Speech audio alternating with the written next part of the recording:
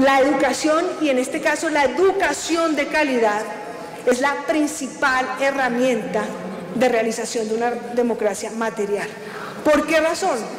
Porque con la educación de calidad acercamos al joven, al niño, al padre de familia a las posibilidades de ejercer la libertad, la libertad que es un valor de la democracia en igualdad de condiciones. En otras palabras, con una igualdad de oportunidades, ahora que están los olímpicos de moda, lo que hacemos es poner a todos los jóvenes en una, si nos imaginamos una piscina olímpica, lo único que hace una política de igualdad de oportunidades basada en la libertad es poner a todos los jóvenes en el mismo punto de partida.